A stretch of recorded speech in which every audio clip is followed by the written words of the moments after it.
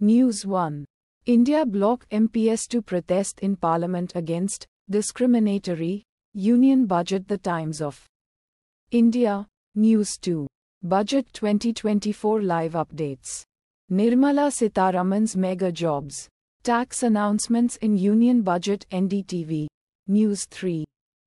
CUET UG result 2024 live. NTA CUET UG scores. Final answer key awaited Hindustan Times. News 4. Centers, no, to special status for Bihar evokes cryptic response from Nitish the Hindu. News 5. NEET UG 2024. Live updates from Supreme Court Bar or Bench Indian Legal News. News 6. NPS Vaatsalya for minor children announced in Budget 2024 Money Control. News 7. Union Budget 2024 Finance Minister Nirmala Sitharaman announces special schemes for Bihar. The Hindu News 8. 10th accident in 7 months when Indian Navy chief resigned after spate of deadly naval accidents. Eurasian Times News 9.